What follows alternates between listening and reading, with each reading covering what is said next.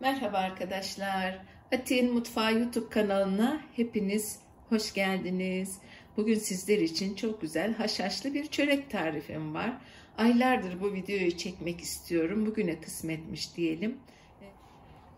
Gelelim malzeme listesine. Bardak ölçüm 250 cc'liktir arkadaşlar. Bunu da belirteyim.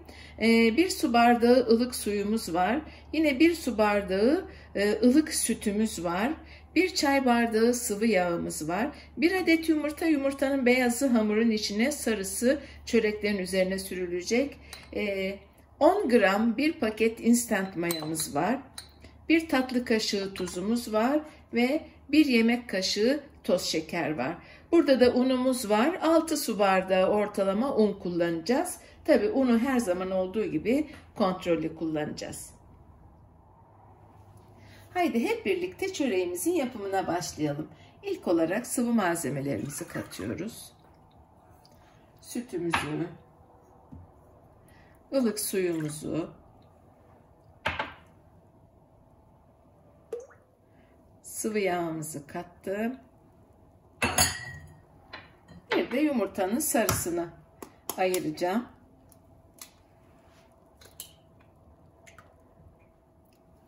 Bir çırpıcı yardımıyla malzemelerimizi güzelce çırpalım. Bu arada toz şekerimizi ilave edelim ve instant mayamızı da katalım.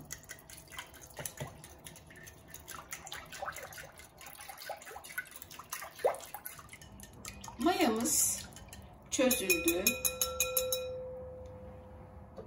Şimdi kontrollü olarak unumuzu koymaya başlayalım arkadaşlar.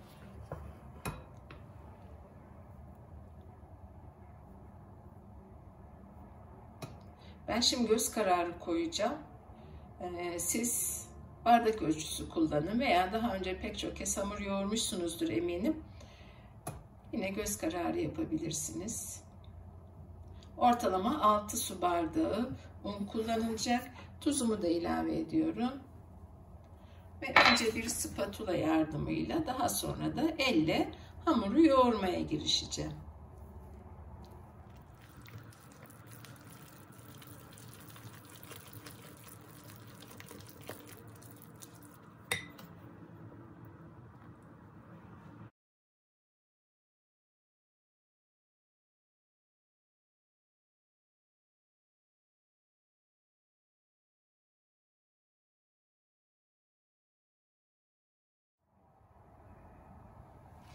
Evet arkadaşlar ele yapışmayan yumuşacık bir hamur oldu.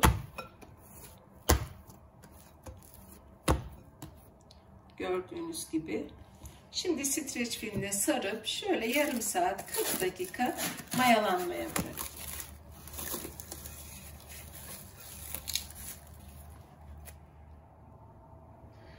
Hamurumuzu bir kıyıya aldık. Şimdi haşhaşlı iç harcımızı hazırlayalım. Burada da 250 gram haşhaş ezmesi var.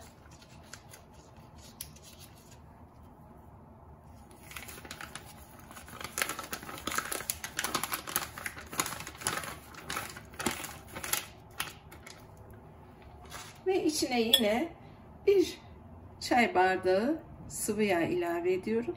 Ve bunları güzelce karıştıracağız.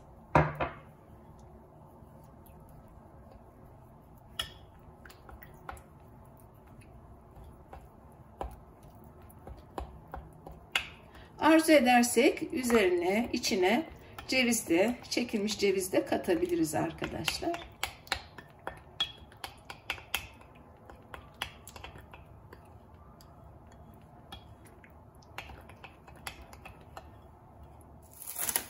Evet arkadaşlar hamurumuz mayalandı.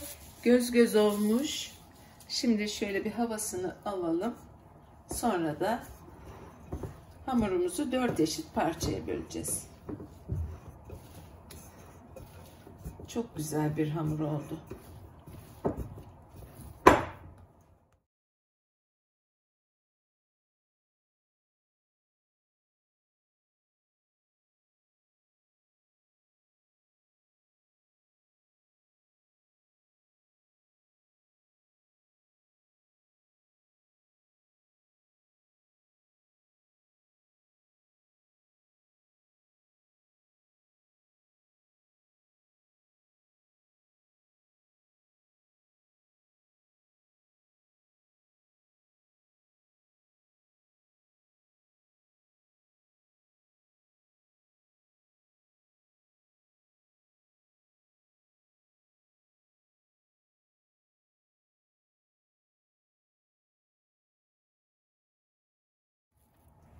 Şimdi üç tanesini bir kıyıya alalım ve diğerini elimizle açalım.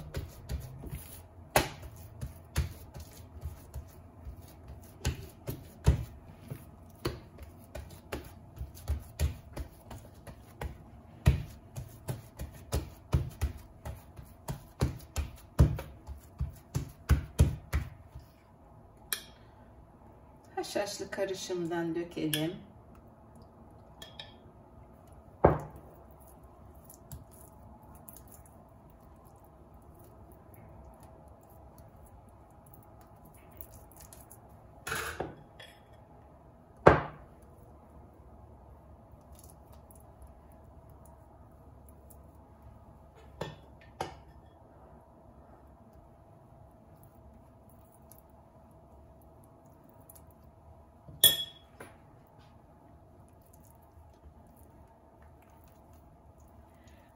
Çekiştirerek rulo şeklini verelim.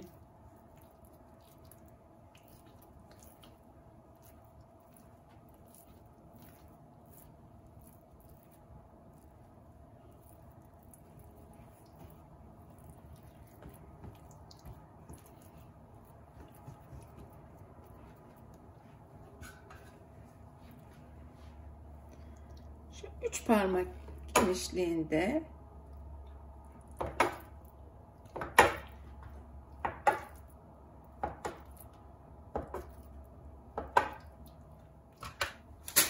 Şöyle biraz aralıklı yerleştiriyorum.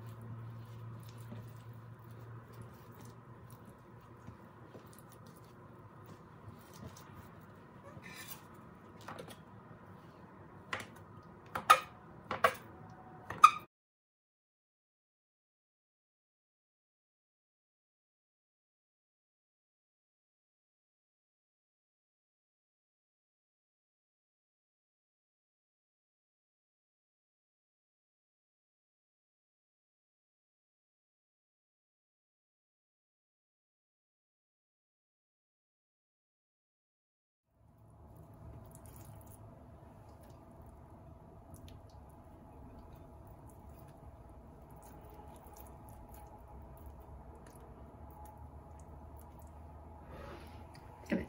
Bunu da bu şekilde yaptım. Evet. İkinci son parça yapana kadar e, borcamdaki çöreklerimiz de epey mayalandı. Yine ben şöyle bir iki yemek kaşığı kadar kalmış haşhaşı şöyle üzerlerine akıtıyorum.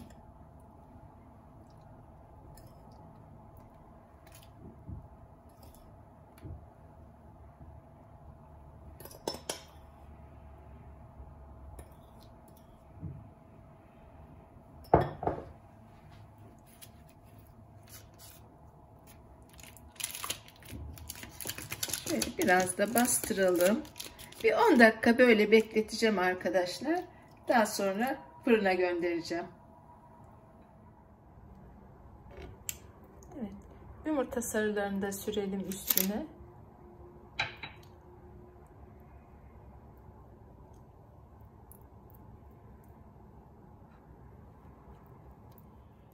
Haşhaşlı çöreklerimizin fırına girme zamanı geldi. 180 dereceli fırında 30 dakika pişireceğim. Yarım saat pişireceğim arkadaşlar.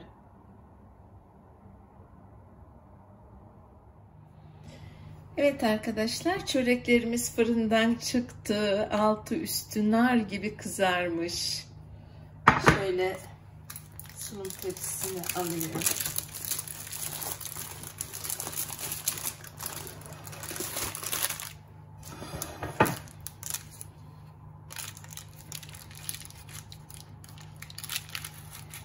Şahane nefis olmuşlar arkadaşlar. Gördüğünüz gibi pamuk gibi yumuşacık olmuşlar.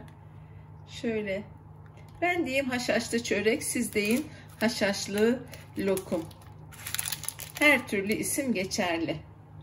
Evet arkadaşlar bir tarifimin daha sonuna geldik. Videomu buraya kadar izlediyseniz videomu beğenmeyi ve kanalıma abone değilseniz abone olmayı unutmayın lütfen. Yeni tariflerde tekrar birlikte olmak üzere.